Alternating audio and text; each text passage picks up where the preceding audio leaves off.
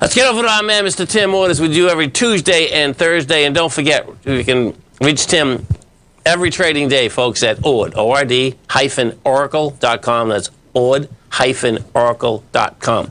Tim Ord, what's going on, brother? Yeah, so we can uh, take a look at the bigger trend real quick. Okay. Uh, um, not a lot to say here. Let's see. Let me. Oh, good. Okay. Well, anyhow, chart one. Uh, this is the.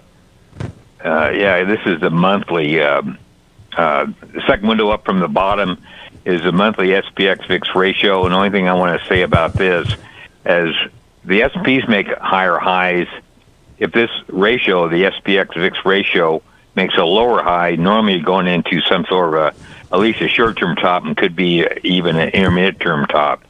And right now, uh, I shaded those areas in pink going back to uh, 2017, 2016. Yes. And right now, we're making higher highs on the SPX. Release are up around the highs. And the SPX VIX ratio is also making higher highs or up at least at the highs. So, intermediate term, this is probably not a, a significant top of any consequence. Not saying this week's going to be an up week or not, but intermediate term, it still looks fine. So that's what I wanted to say about that. Nice. Okay. So, so uh, let's go to chart two. Chart two. Okay. Yeah, this is uh, this is kind of interesting. But anyhow, the the middle window is a Zweig breadth thrust indicator. Yes. And and uh, I kind of watch this pretty close, and it get, actually gets kind of good clues of what the market may do. But anyhow, to get this Zweig breadth thrust indicator triggered, you need a reading below uh, 0.4. Then you need a rally. It's it's a, actually an advanced decline type indicator, or it's actually an advanced. Uh, it compares the advancing issues against the total issues. So you need a reading below 0.4, and within 10 days or less, you need a reading of, of, of uh, 0.6 or higher. When you get that, that's kind of a thrust off of a bottom. And that's a real good sign. You kind of have a selling climax, a mini selling climax to a buying climax. If you can happen, if you can happen, that can happen in 10 days or less that's usually a good sign in your mid term. Okay. And all the red lines that got cross, across on this chart, this chart only goes back a couple, couple, three years, is the time that it reached 0.4 below, which is selling climax. Then the blue lines are the times that reach 0.6, which is kind of a buying climax or, or buying or a thrust, I guess you might say. Yes. Coming off of the October low, you had a kind of a selling climax into a buying thrust in five days. If you look at the bottom of the chart there. Yeah, I see that. Um, yep, the first one. Yeah, got five yes. days. That's really a strong market. Right. Uh, so it did the whole thing in five days. Well, we had one also here in in uh, looks like April, April May type thing, and it took twelve days. Okay. So still bullish but not as bullish as five days. Right. So you really kind of had a selling climax and it's kind of a, a thrust, but it took 12 days instead of 10 days. So we're probably not looking uh, the same type rally we had coming off the uh, looks like about October November lows of uh, 2023. The market firstly went straight up, so still strong, but not as strong. Ideally, so 12. You know, you're probably I think we're probably going to run a little trouble maybe in July or something. I don't know. Okay. But uh, we'll see. But yeah, let's go to chart three. Yeah. Okay, this is the short term stuff. Um, the top window or uh, sub window, the top window is what's this market statistics. Window below that is the SPY, and we did jump above the previous high of uh, April, uh, early April, late March, and we gapped above that, and we went back last Thursday and tested that gap, and volume only dropped five percent. You want volume to really go down and test the gap. You like see uh, see a ten percent drop in volume, not even a twenty or thirty percent drop in volume. I see. Uh, okay, so, but this is a five percent. So I'm thinking we're going to go back down and test last Thursday's low again. And if if you look at the bottom window, is, is a VIX uh, this is I drew this or uh, sent this chart a couple hours ago, And if you notice the VIX uh, over to the right is kind of a, you can see it better, but the VIX is pretty much setting at its high over the last several days, where the S&P is not even close to its previous lows. So Right. the VIX leads the SPY. So the the SPY is already actually testing last Thursday's low, or on on the upside because VIX goes up when the market goes down. Yes. So what that implies is if this indicator works as, as it should, we're going to go back down and test last Thursday's low because the VIX is testing last Thursday's high. Yep. No, I can see that. That's pretty amazing, man. Yeah. So last Thursday's high, Yeah. folks. Okay, was uh, twelve point eight one, and we just hit uh, thirteen point four four. Interesting. Yep. Okay. Yep, yep. So and so you got the volume. You know, you're testing a gap on. You know, it should be ten percent lighter volume, just like a gap is is like uh, Swing a point. previous high or previous Yeah, low. right. Works the same way. You want volume ten percent lighter, preferably more. And we didn't do that. We had five percent. So I'm thinking we're going to go back down, test Thursday's low. Now, if you get that low on ten percent lighter volume, then I will say, yeah, that's probably it. Then we'll start going up again. But I think this week we're probably going to, you know, test that last Thursday's low. So, um, You know, so Tim. what happens there, we'll have to wait and see. I still think the bigger trend's up. So Right. No, according to that. I, I, I'm with you there, but, but we have some real divergence in this Dow Industrials. You know, I mean, it's it's intriguing that the, Dow is way off its highs, man. You know, I mean, and so it's like, okay, I mean, we hit to what we were at forty thousand seventy seven. And you're at 38,800. Yeah, pretty intriguing. Stay right there, folks. Tim and I are coming right back. We have the Dow Industrials right now trading uh, down 275. Nasdaq's up 70. S&Ps are off seven and a half. Tim and I come right back, folks. Welcome back, folks. Uh, Tim Moore, Tom O'Brien. We do appreciate you growling and prowling with us out here. We have the Dow Industrials down 293. Nasdaq is up 63. S&Ps are off nine. Okay, Tim. So I have the third chart up here.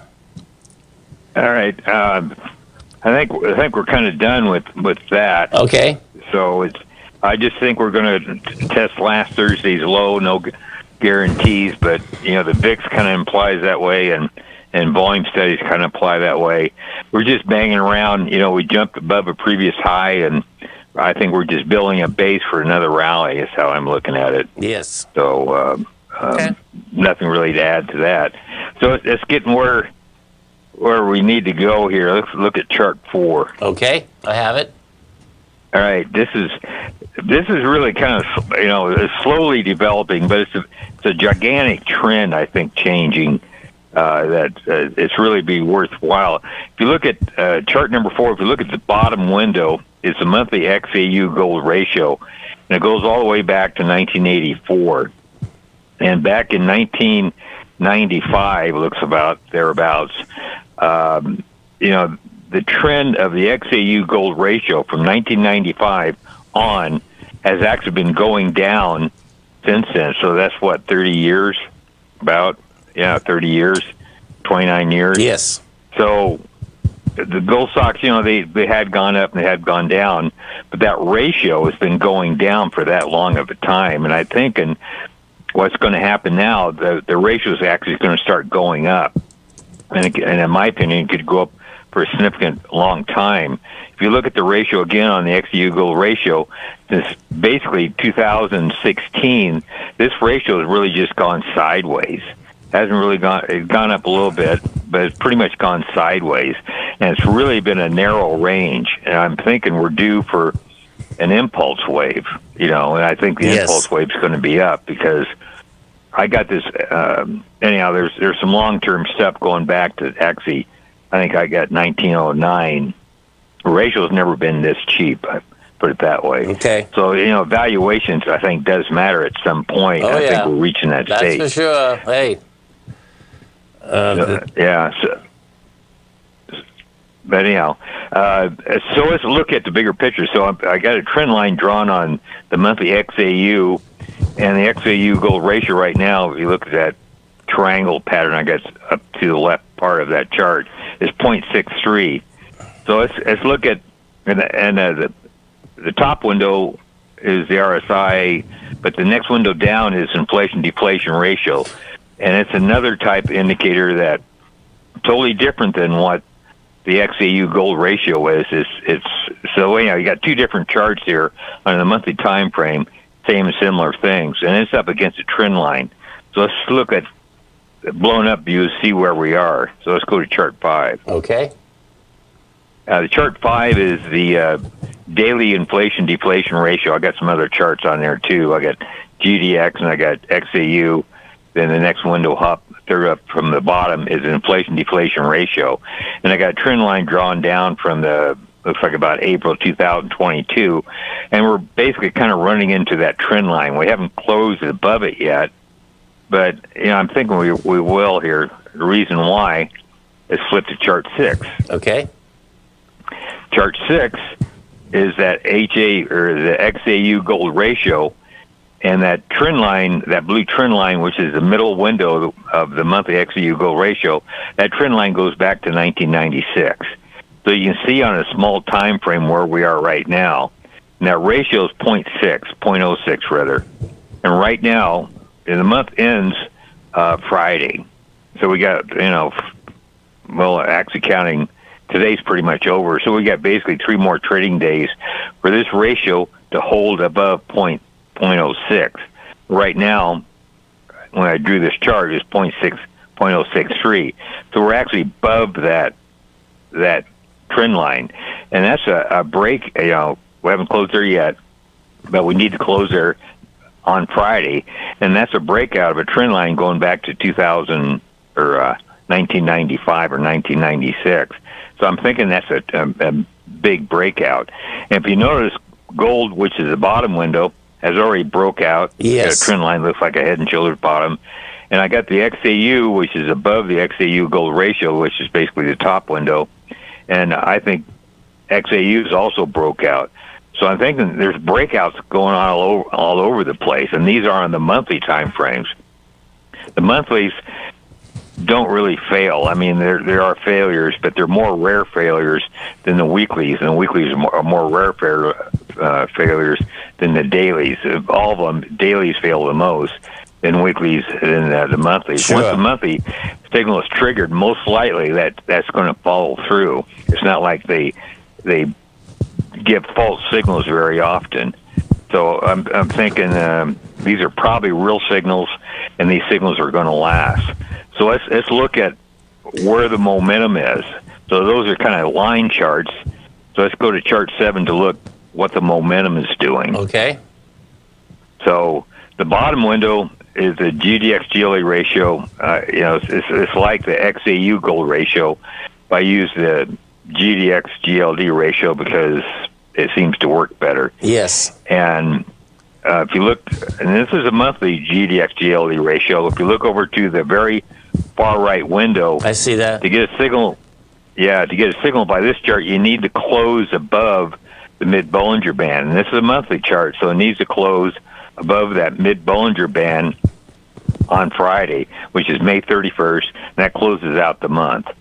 And uh, then I got that's uh, yeah, that's the ratio. So we need to close so far as we're talking today. We're above that mid Bollinger Band. Next higher window is the uh, monthly accumulative advanced decline for GDX. And the same thing there happens. You need to close above the mid Bollinger Bands, the momentum chart. And so far it's way above it. And we go to the top chart, which is the uh, up down volume. So it measures up volume, down volume uh, for the stocks in GDX. And it also needs to close above the mid Bollinger Band. And so far, this is momentum now. So you're, you're measuring momentum against advanced decline and up down volume. So once these change directions, you know, either up or down, they usually stay in force. There's very seldom you get a, a whipsaw. I mean, it, it does happen, but it's very rare. And and once these give these signals, you know, the previous signals, uh, you know, they, can- last a year. Matter of fact, this uh, the last time this chart gave a signal was back in January 2021, and it was actually a sell signal. And what that said, there was more stocks up, down, volume down. There's more volume going to the downside than upside, and there was more stocks declining than advancing in that period going back 2021. So that whole landscape is now changing. Now you're starting to see more up volume than down volume, and you're seeing more advancing issues than declining issues. And this is going to be persistent over, my opinion, at least for the next year and a half. And it could be, you know, maybe four years. I don't know. But previous signals lasted a year and a half uh, to four years. So yeah, and you know what's um, amazing, Tim, is that you know after that downdraft last week in the gold and silver market, that these are still looking good. I mean, we snapped right back today, but that was that was a that was a fast little downdraft last week. You know what I mean? yeah, it was. Yeah. It was. Stay stay right there, Tim. Tim and I are coming right back, folks. Uh, Dow Dow's down 268. Nasdaq is up 56. S&P's is down eight. Tim and I come right back. Stay right there. Welcome back, folks. Uh, Tim Ord, Tom O'Brien. We have the Dow up 250, Nasdaq up 65, S&P's uh, down five. Uh, so Tim, I'm on the uh, what two, four, six. I'm on the seventh chart. Yeah, seventh. Okay, so this chart kicks in on May 31st because it's the yep. monthly chart. Okay. So if those all those lines stay above the mid Bollinger Band, then most likely we're starting a, a multi month, if not a multi year rally.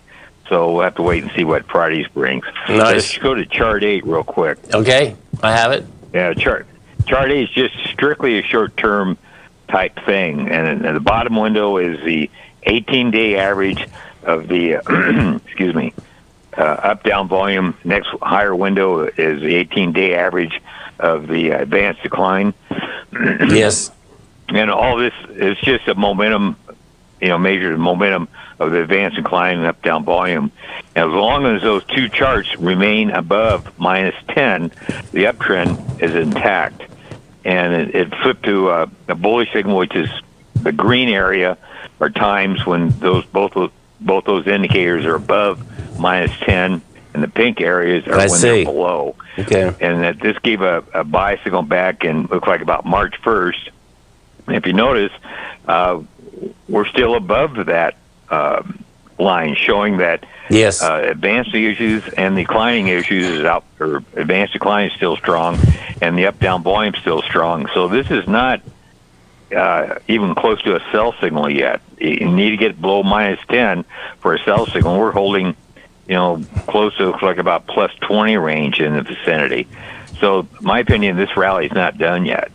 So how higher short term, I don't know, um, but it's been going on for well, since March 1st. So yes, June 1st will be what three months. Yeah, and we got a lot of numbers coming out this week, so this is going to get intriguing this week, no doubt, man. Well, Tim, yeah, listen, it's always a pleasure, man. You have a great one, a safe one. Of course, we look forward to speaking to you on Thursday, Tim. All right, have a good one. Thank, Thank you. you. Dow, Dow Industrials down 254, Nasdaq is up 80, S&P's off three and a half, folks. Come back and visit. Uh, Always remember, folks, the bank can claw your heart out, the bull can run you over, and thank God there's always another trade. Come back and visit Tommy tomorrow morning, 9 a.m., folks. Thank you.